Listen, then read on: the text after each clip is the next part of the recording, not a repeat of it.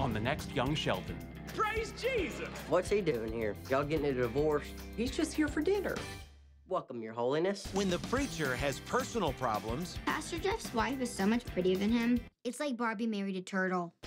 Sheldon pitches in at the parish. You smell like cigarettes. You're fun. You also smell like mothballs and Bengay. Bye. The next Young Sheldon. Monday at 6:30 on WBNX TV 55.